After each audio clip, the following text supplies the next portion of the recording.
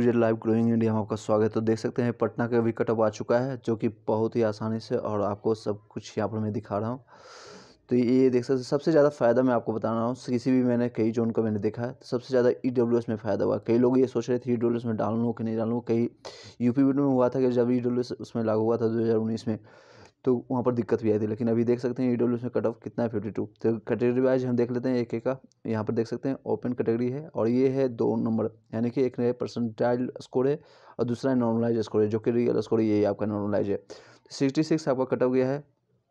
और percentage ninety six गया है और ईयर का। एस सी कैटेगरी का नाइन्टी परसेंट गया है और फिफ्टी इसका रो मार्क्स है नॉर्मलाइज मार्क्स है। एस कैटेगरी और एस टी कैटेगरी में फोर्टी थ्री और एट्टी फाइव इसका नॉर्मलाइज होगा। ओ बी सी में आपका गया है सिक्सटी वन और ई डब्ल्यू एस में फिफ्टी टू इसमें परसेंटाइल नाइन्टी सिक्स परसेंट है और ये नाइन्टी वन परसेंट है।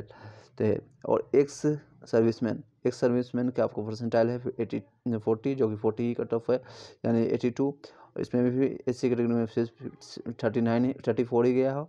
और एस टी में कोई भी कैंडिडेट नहीं मिला तो उसके बाद आया है ओ बी सी में थर्टी परसेंट थर्टी नंबर और फिफ्टी नाइन नंबर। तो पटना एक कट ऑफ़ जो कि टफ जोन माना जाता है तो इसमें भी देख सकते हैं डब्ल्यूएस में मात्र और मात्र फिफ्टी टू गया है और भी जोन में सबसे कम गया है। अगर रोमार्स और नॉर्मलाइजेशन की देखा जाएगा तो इसमें सिक्सटी सिक्स हाईएस्ट गया है, जो कि जनरल का है, और मिनिमम फोर्टी और थर्टी फाइव तक भी गया है। इस तरह से आपका आप रिज़ल्ट अपना देख सकते हैं। तो देख सकते हैं, इस तरह से आपका ये फ़िज़िकल एलिजिबिलिटी टेस्ट आपका रोल नंबर जब आप यहाँ सर्च मारेंगे तो आपको दिख जाएगा। आपके इस टोटल फोर्टी वन पेज का है पटना जोन का ये सारा रिज़ल्ट है, आप वहाँ देख सकते हैं।